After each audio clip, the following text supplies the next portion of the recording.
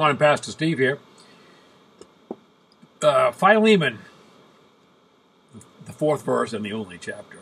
I did not want to do anything without your consent, so that any favor you would do would not be forced, but would be voluntary.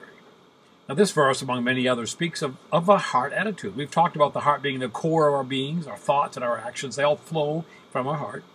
Here, as Paul wrote to his friend Philemon concerning a runaway slave, he doesn't command him as an apostle, but rather entreats him as a friend. Note here, he's after a, a proper heart attitude. Uh, as Chaplain Joe was teaching this recently on Sunday, this thought lodged in my mind. I can grudgingly do things or I can joyfully do things. Okay. My wife often wants me to do things, play games, I'll go to this place or that. And I love her, so I say, Yep, I'll do as you wish. So I go. Sometimes I grumble the whole way there and the whole way demonstrate maybe my love isn't all that pure right at the moment.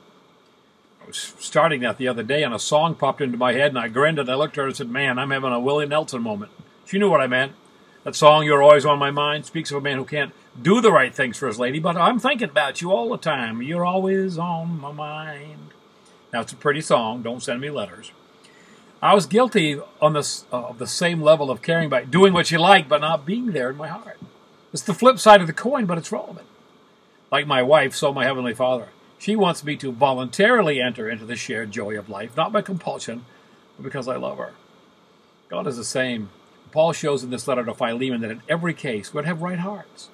In our giving, Paul said to the church at Corinth, don't give grudgingly, but give from the heart, freely, not under compulsion or necessity. In our serving, elders don't do it from compulsion, but because you really desire that office. See, God's not just interested in your service, but in your service with a right heart, a right attitude.